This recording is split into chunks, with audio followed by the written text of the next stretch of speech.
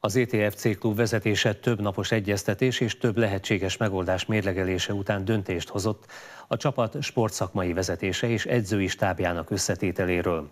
A 2016-17-es szezonban az ETL vezetőedzője Csató Sándor lesz.